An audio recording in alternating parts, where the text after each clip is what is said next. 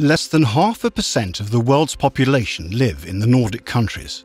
Still, the region combined comprises the 12th largest economy in the world. Over the last 30 years, population has grown by almost 20%, one third from natural increase, two thirds due to immigration. Fertility rates are decreasing and are now at an all time low in Norway, Finland, and Iceland. Since life expectancy increases, the Nordic populations are getting older. Due to immigration, the populations are getting more diverse, which provides both challenges and opportunities for future developments. The Nordic populations are among the most mobile people in the world, with 13 to 16% changing residence every year within each country. This mobility also contributes to a high degree of urbanization that brings planning challenges in both shrinking and growing regions. What will happen with the workforce in the Nordic region? The working age population is expected to increase in the Nordic region in general, but decrease in rural areas. Two thirds of all municipalities will have a shrinking labour force over the next 20 years. Overall, total population is expected to increase 8% by 2040, while the working age population only increases 1.5%, causing increased old age dependency. At the same time, calculations suggest that up to one third of Nordic jobs could be automated in a decade or two.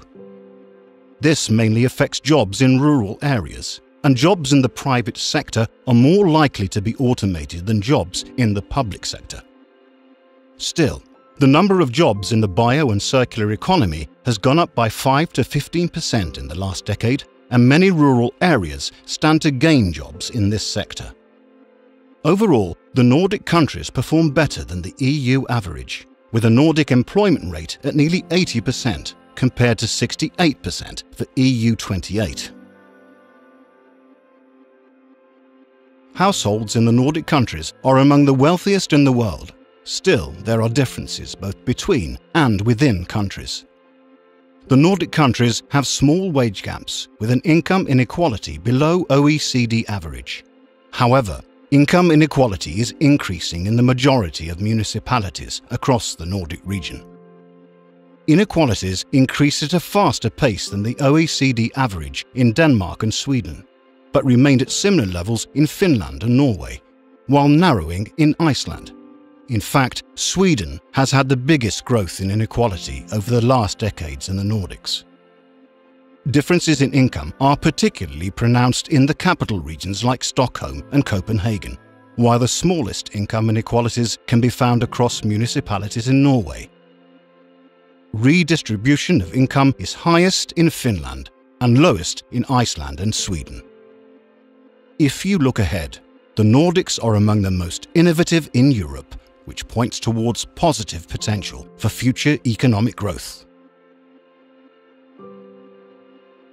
Nordregio's Regional Potential Index, RPI, is constructed around nine key socio-economic indicators to measure regional development. The region of Oslo ranks as number one on the list, followed by Copenhagen and Stockholm. On average, urban areas perform better than rural. Due to a dynamic labour force, Iceland and the Faroe Islands are improving their ranking from 2017, while weaker GDP and R&D investments in Norway causes lower ranking for most Norwegian regions. The ranking for regions in Denmark and Greenland is stable, while Finland and Sweden have a varied result with some regions scoring higher and some lower than in 2017. Improvements are primarily to be found in rural regions. The Icelandic region of Østland, for instance, jumped 12 places. But at the same time, Blekinge in Sweden dropped the furthest in the rankings with 11 places as a result of weaker labour and economic factors in comparison to other Nordic regions.